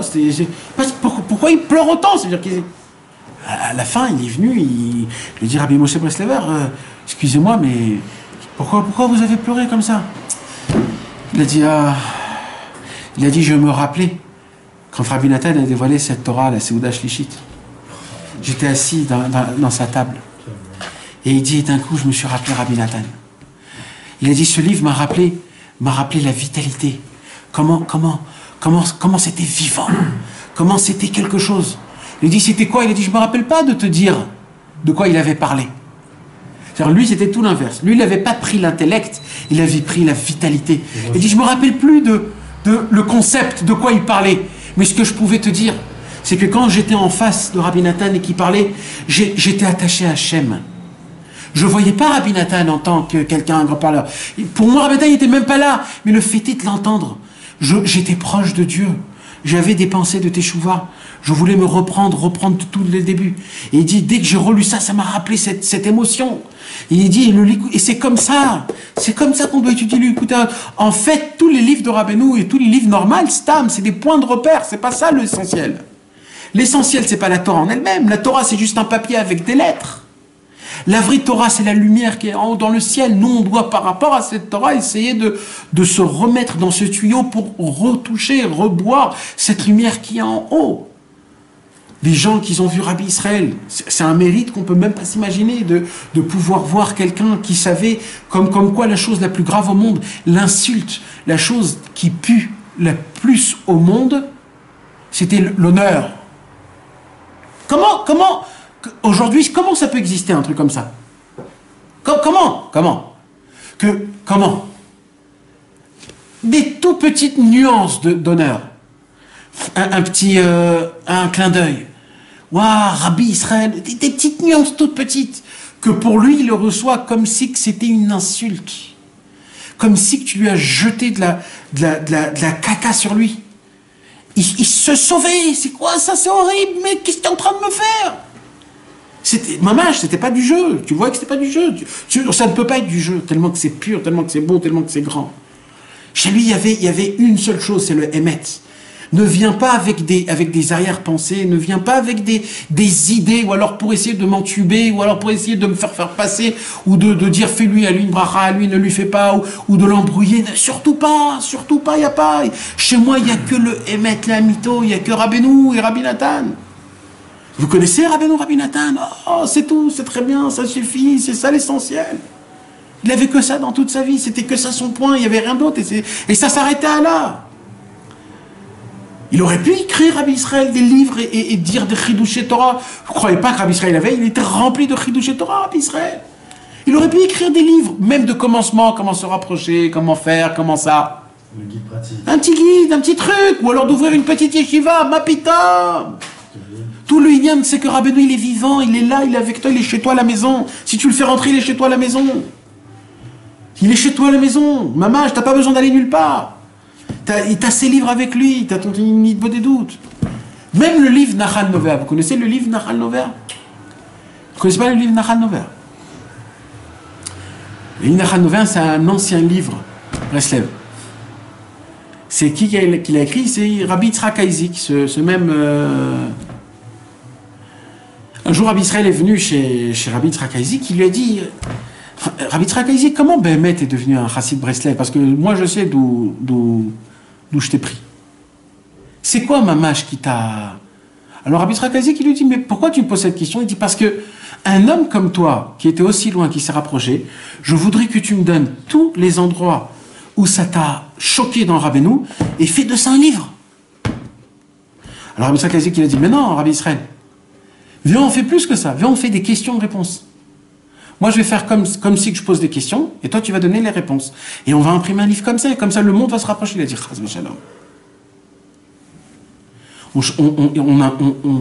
On n'écrit pas de nouveautés. Il dit, essaye de, de te rappeler, c'était quoi les moments où, quand tu as lu les frères Breslev, les frères Rabbeinu, qui t'a mamache marqué. Et reviens chez moi avec, avec euh, ce, cette référence. Et comme ça, le livre Nahal Nova a été créé. C'est toutes les références de cette personne que ça lui a. Et tu vas là-bas. Là-bas, ils ont fait un, livre de compilation de Sifra Rabbeinu que tu comprends pas trop c'est quoi cette compilation. Il y a le premier histoire, le Maaseh Aleph du Sipur Masiot, après il y a quelques pages de Sefer Amidot, après il y a un. C'est très personnel parce que c'est pour lui. Oui, mais Rabbi Israël, lui, c'était une Neshama qu'elle était tellement loin que lui, il s'est dit, c'est sûr que des gens qui étaient même un peu plus proches, quand ils vont lire, ça va leur faire d'effet. Parce que si ça fait un effet un homme aussi loin, bêtard que ça va faire de l'effet un homme... euh, Donc c'est comme ça que le livre Nahal Nova, il s'est, il s'est, il s'est, il s'est créé dans le monde. Mais Rabbi Israël, pourquoi? Parce que pour lui, Rabbi Israël, Rabbeinu, c'est le plus grand vivant du monde. Et lui, ce problème de cet enfant, c'est qu'il dit, toi, t'es un vieux, tu vas mourir, et moi, je vais rester tout seul. Comment on peut dire une parole pareille?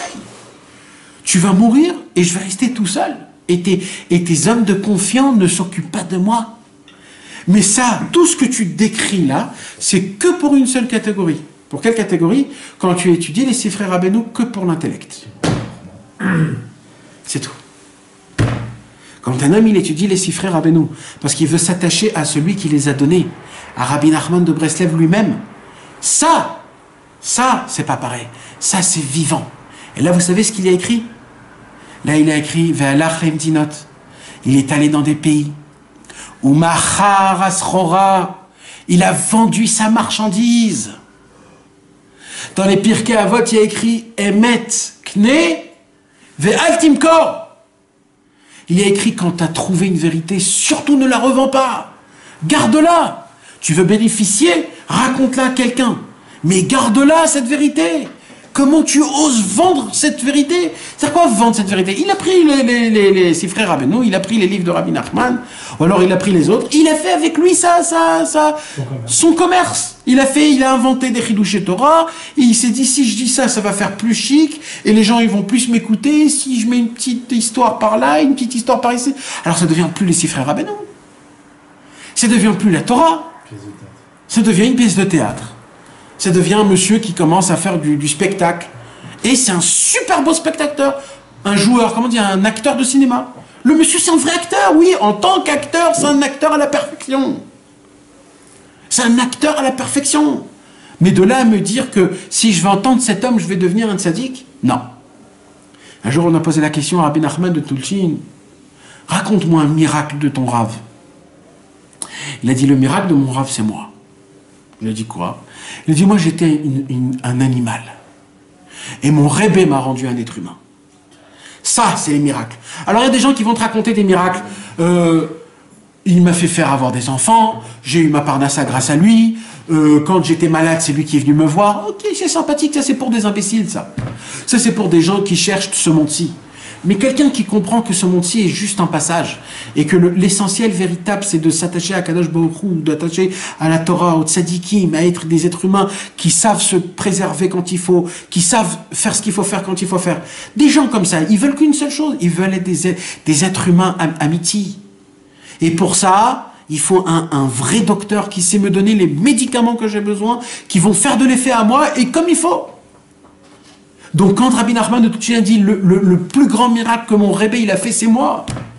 C'est pas, c'est pas euh, le genre de tzaddik que, que, que il se dit, ouais, moi, le mien, il m'a fait de la parnassa, et grâce à lui, j'ai eu un enfant après 20 ans que j'ai pas eu d'enfant, et je suis revenu de la mort grâce à lui. Mais, mais, mais ça, c'est des, c'est des petites choses, ça. Ça, c'est du va et du vient. Dans 20 ans, on va même plus se rappeler de ce problème-là. Par contre, de Rabbi Nachman de Tulchin, on se rappelle jusqu'à aujourd'hui. Malgré qu'il n'a pas laissé beaucoup d'enfants, etc. Il a eu un fils qui s'appelait Rabbi Avram ben Rabbi Nachman, et lui, il n'a pas eu d'enfants, Rabbi Avram ben Rabbi Nachman. Ah Il en a eu, mais ils sont tous morts. Donc il reste presque plus rien de Rabbi Nachman Dulchin. Mais on en parle de lui encore. Et cette histoire, on en parlera encore jusqu'à la fin de tous les temps. Et toutes les autres histoires qu'on raconte sur lui, c'est lui qui a imprimé le Likuta à la Chot. Grâce à lui, on a le Likuta à la Chot. Il est parti pendant un an de sa maison, il a donné le guet à sa femme pour aller imprimer le Likuta à la Chot. Il a, il, a, il, a, il, a, il a volé le gvoul, comme on dit. Le, la frontière.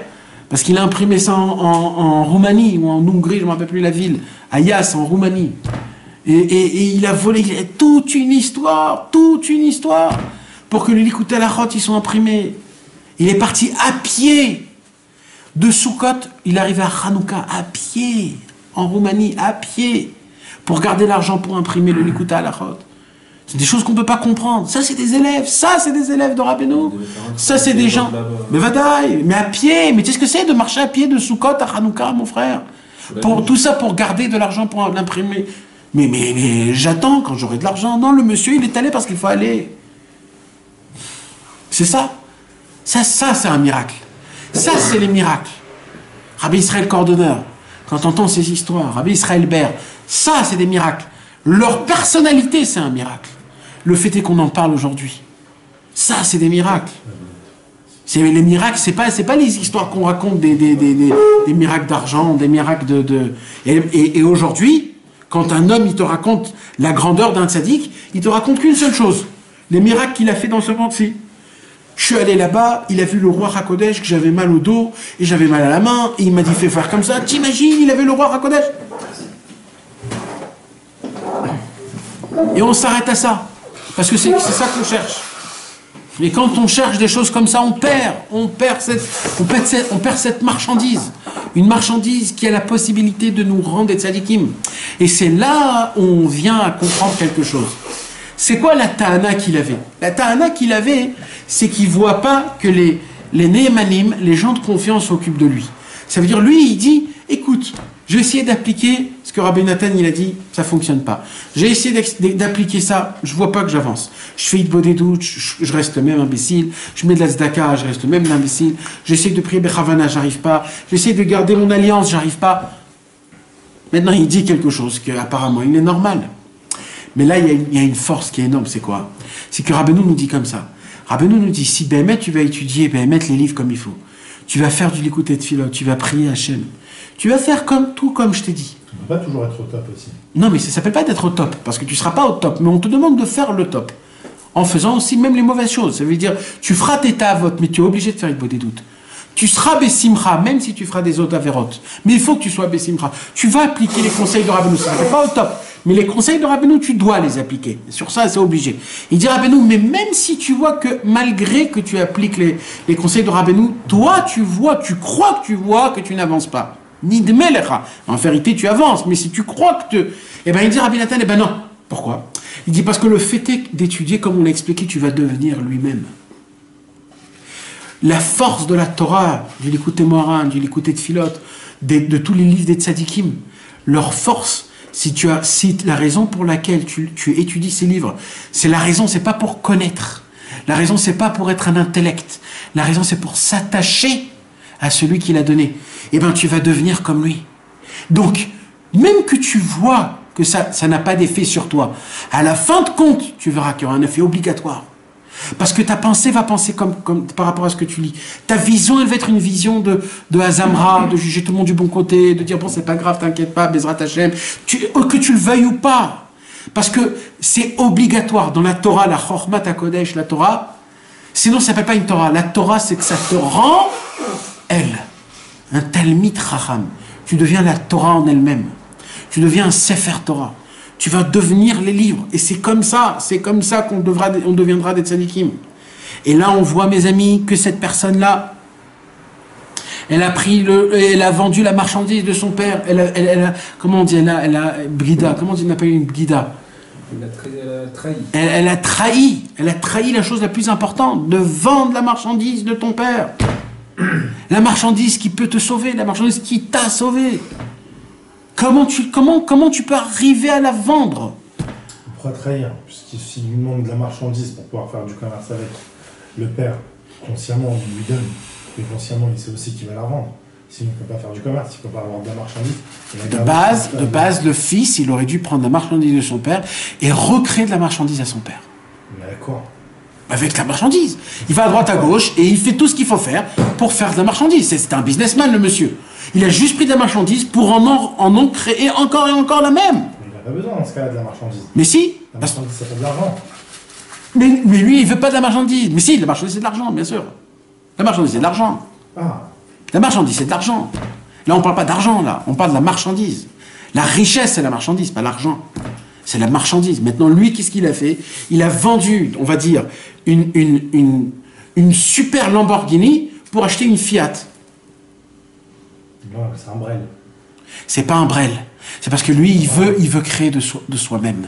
Il veut, ça ça- il veut créer. Si tu me dis qu'il prend la Lamborghini et qu'il fait une plus-value dessus, et qu'avec la plus-value, il va pouvoir acheter la Lamborghini plus une autre, et ensuite revendre, et revendre, et revendre, là je te dis oui. Mais c'est ce qu'il a fait. Entre parenthèses, quand tu vends une Lamborghini, t'en as, t'en as 100 des, des Fiat. C'est ce qu'il a fait. Et pour toi, c'est bien ce qu'il a fait Est-ce que 100 Fiat vaut une Lamborghini? Non. Pourquoi? C'est 100 Fiat. Parce que ça sera jamais une Lamborghini. Ça sera jamais la puissance Lamborghini. Alors, équivaut argent, ça vaut. C'est le, c'est le même prix. Mais ça sera jamais. Quand tu vends une marchandise qui est exceptionnelle, qu'il n'y en a pas deux dans le monde une marchandise pareille, quand tu revends, même en achetant toutes sortes de marchandises, ça sera jamais la marchandise de, ce marchand-là. Quand tu donnes caviarol, quand tu prends un chidouche de Rabbeinu, et que tu l'adaptes avec des centaines d'autres et, et tu peux, soi-disant, grâce à ça, rapprocher plein de... Ça sera jamais le conseil du tzaddik. Ça sera un conseil extérieur. Et il y a plein de gens, de psychologues qui utilisent aujourd'hui Rabbeinu. Alors peut-être que c'est bien, c'est pas bien du tout. Et la preuve, c'est qu'il dit Rabbi Nathan, il y a une preuve. C'est le temps de combien ça dure. Quand ça vient d'un endroit qui est pas Kadosh, même si c'est Kadosh, la, la parole que tu dis, ça tient pas longtemps.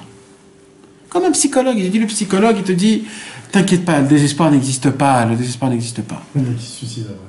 Oui, un temps, ça passe, c'est fini. Pourquoi quand Rabbeinu dit que le désespoir n'existe pas, ça a effet? Parce que Rabbeinu, il a vécu. Parce que quand tu dis Bolam Klal, pourquoi tu dis le désespoir n'existe pas? Parce que je m'attache au tzaddik, parce qu'il y a quelqu'un encore qui crie encore Aniouch Bolam, il le crie encore. Ça, résonne encore dans le monde. C'est pas quand le psychologue te dit les mêmes choses. Les gens ils te disent ouais mais ce rave il a rapporté Rabbeinu. Mais ça veut dire quoi il a rapporté Rabbeinu?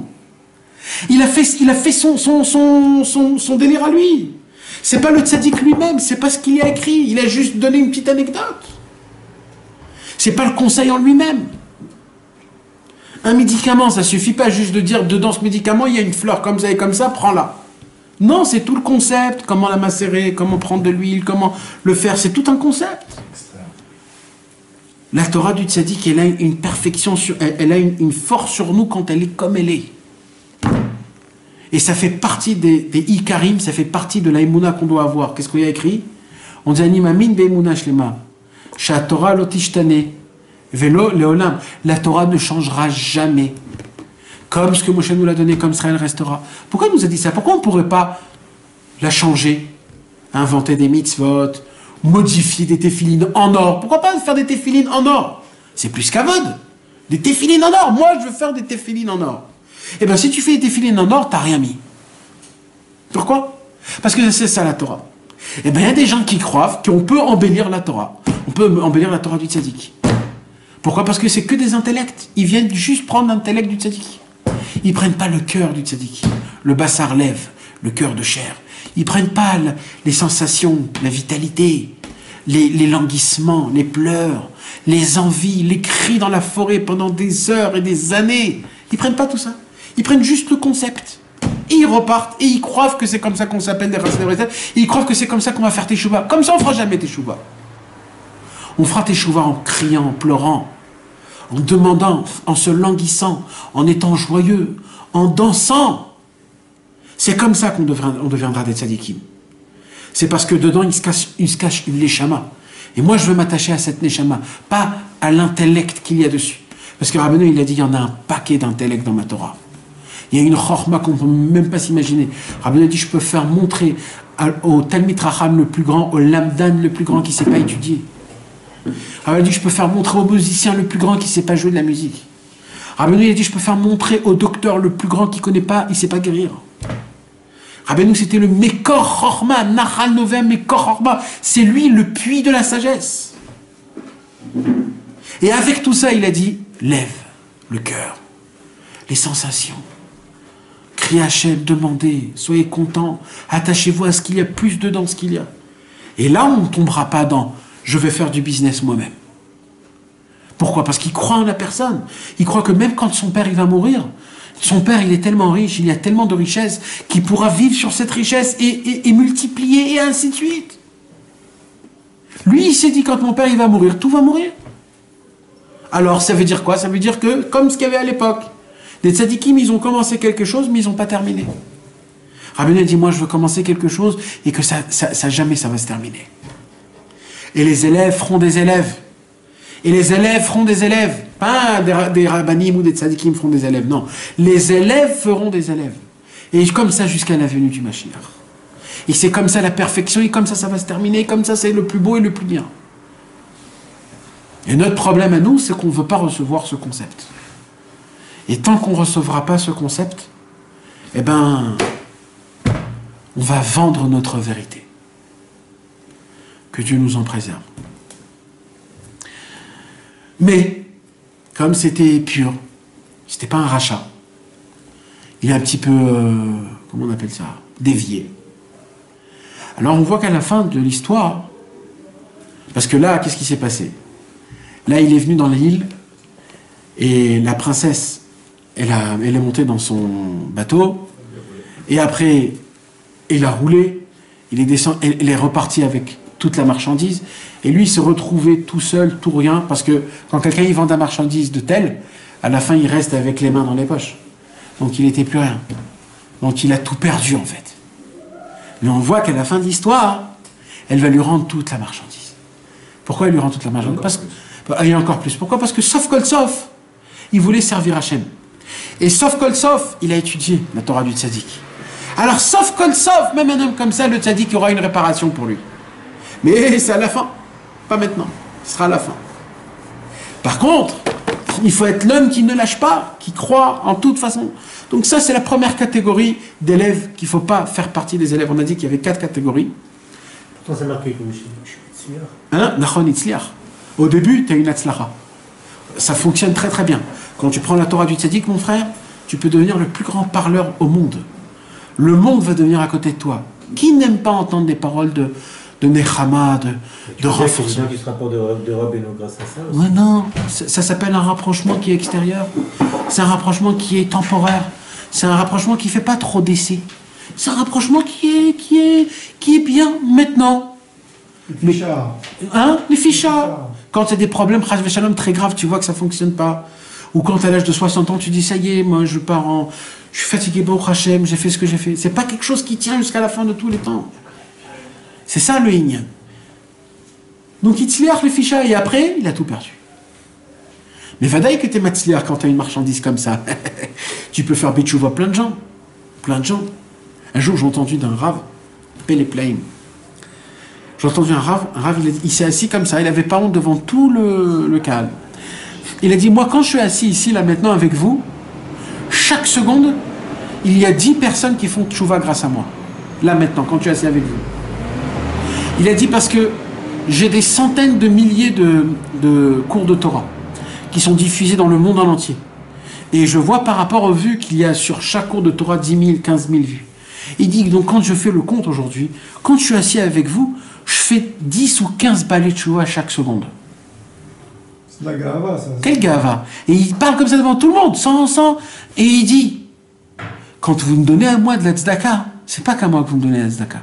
C'est à des dix mille et des, des milliers des milliers de gens. Des gens qui sont simples quand ils entendent un truc pareil. Ça y est T'as plus besoin de leur dire rien. C'est lui le monsieur. Et le monsieur, il sait parler, il sait te raconter des belles histoires, il sait te, faire plein de, trucs. Et toi, t'es comme ça, purée, oh là là, c'est beau, c'est beau, c'est beau, c'est beau. Mais il y a un klal. Moi, je suis un bal ta'ava. Donc, dans quoi je m'y connais? Dans les ta'avot. Je suis pas un raham pour être, pour me connaître en tzadikim. Donc, en quoi je m'y connais? En ta'avot. Donc, quand je vois un rave et je dis ce rave il est super, c'est qu'en fait ce rave c'est le plus déglingué qui existe parce que toi tu t'y connais pas en tzadikim. Et si à ta présence à toi il te, il te plaît, c'est que, c'est que ce mec-là il te plaît par rapport à toi. Ça te plaît des ta'avot quand tu vois une femme elle te plaît, alors lui aussi il te plaît pareil. C'est Dafka un rave qui te plaît pas. Là, il faut se poser des questions. Peut-être il a, oui, une influence sur toi. Parce qu'il est dur, il te demande, et il te dit c'est comme ça, il te remet sur tes pieds. Et là, tu dis, oh là là. Quand les gens ils venaient chez Rabbi Israël, on tremblait chez Rabbi Israël. On avait très très peur. Des fois, on n'osait même pas rentrer lui dire bonjour. On avait peur qu'il nous mettait à, à- à place, sur notre place, euh, euh, comment on dit, sur place, en place. Ils nous remettaient tout de suite, il n'y avait pas de truc. C'était, il y, y a des gens qui sont rentrés, ils se sont éloignés, ils ont dit on peut pas. Combien d'élèves de Rabbi Israël, ils, venaient, ils partaient six mois, ils voulaient plus revenir? Ils n'en pouvaient plus, ils disaient je je peux pas. Il m'a grondé, il m'a crié, je, ne peux pas. Après, ils revenaient. Combien de fois il y a eu des choses? Pourquoi? Parce que ça c'était Emmet. C'était pas du pipeau en train de te faire de la, vente et, je t'ai pris maintenant. Non, c'est le Emmet, mon frère. On n'a pas le temps de te faire des blagues et des rigolades. Et malheureusement, les gens n'aiment pas ça. Parce qu'ils sont pas prêts pour faire. Ils sont pas prêts. Alors pour les gens pas prêts, mais Maître Rabbi Israël, il avait une anaga qu'il était très. euh, au début, il était très gentil. Euh, Daniel Zafran, au début, il raconte que les trois, quatre fois, première fois qu'il il, avait vu Rabbi Israël, c'était au cotel, etc., etc. Rabbi Israël lui faisait des sourires, il, le- il le recevait, il disait Baruch Rabba Ashrecha, il lui disait Ashrecha, etc. Et, et Mamash, et, et Daniel Zafran, il a dit, jusqu'à que je me suis dit, waouh, allez, vas-y, je reste ici. Et dès qu'il s'est mis dans sa tête que c'est ça, la prochaine fois qu'il est venu Rabbi Israël, Rabbi Israël, il a maté. Il a maté. Juste au moment où il a vu que c'était fin, il s'est arrêté. Après, il lui a redit Ashrecha. Et c'était comme ça avec Rabbeinu et Rabbi Yudel.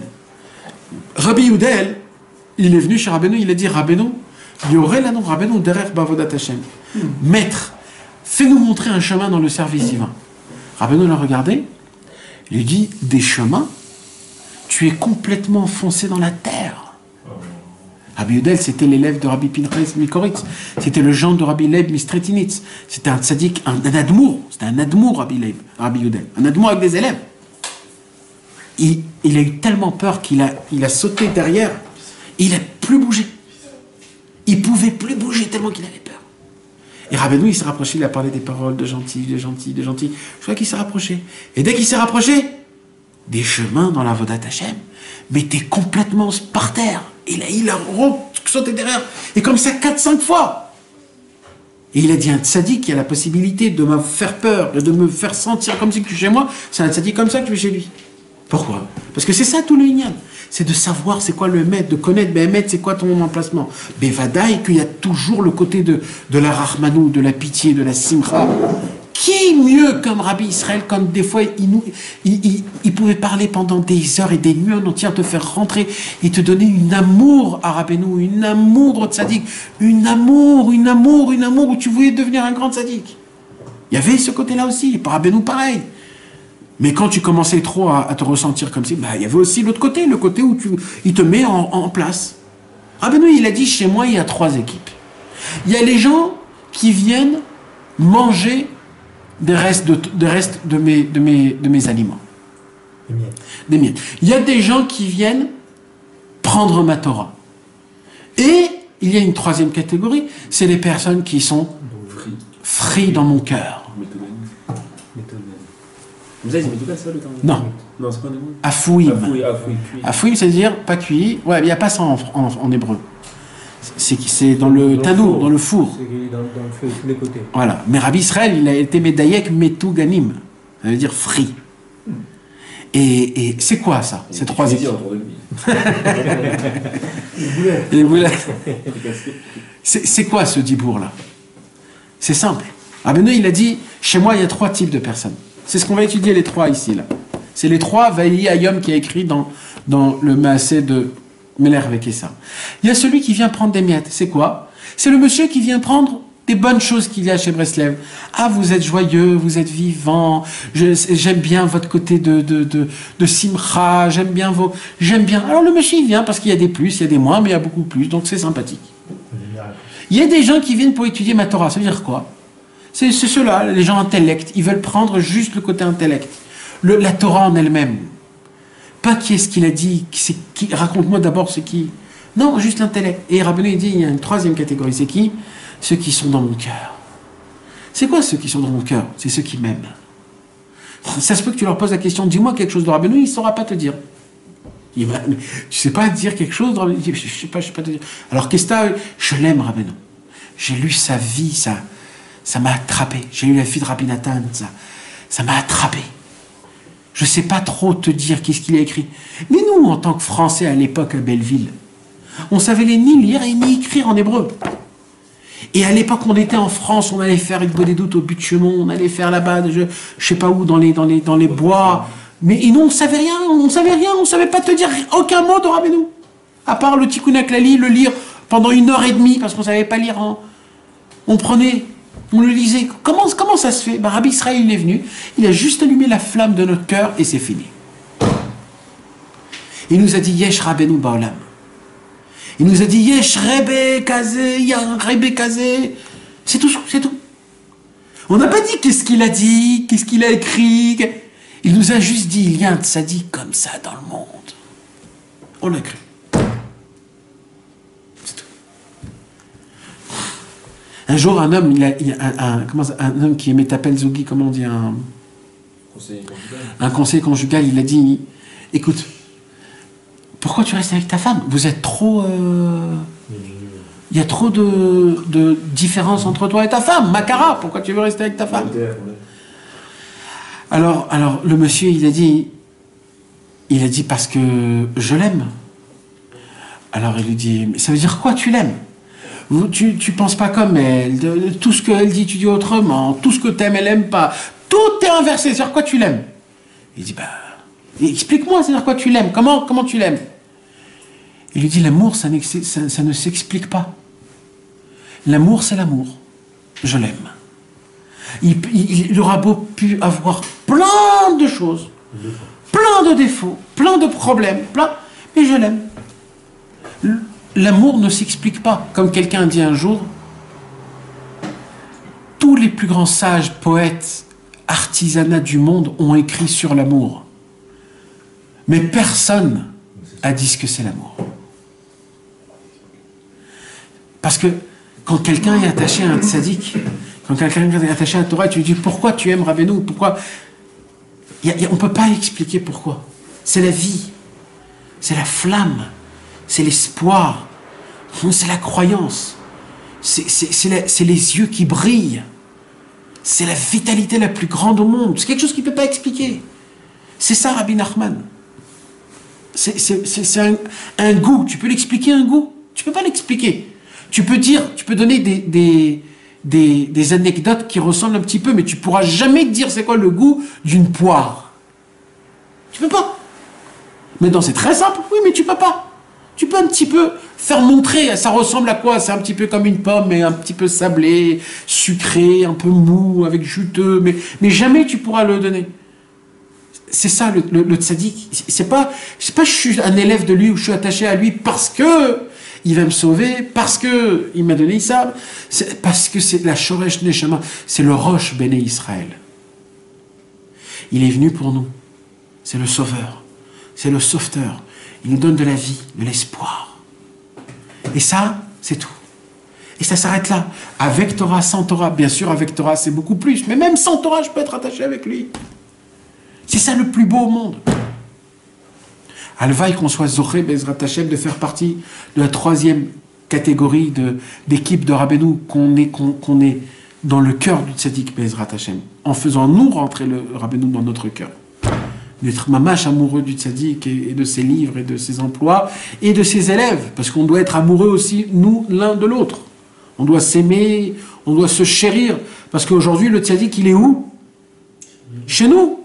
Le tzaddik, il est chez les élèves. On a chacun une face du tzaddik, une petite face du tzaddik, et on doit aimer chacun de nous tous, on doit s'aimer, parce que chacun de nous tous, on a imprimé en nous la face du tzaddik. On doit s'aimer, on doit, c'est comme ça qu'on aime le tzaddik. On doit essayer de s'admirer, de s'aimer, de, prendre des, nouvelles et d'être. d'être Bezrat. Que Dieu nous donne la force de toujours être euh, des bons juifs comme ça, Bezrat Hashem.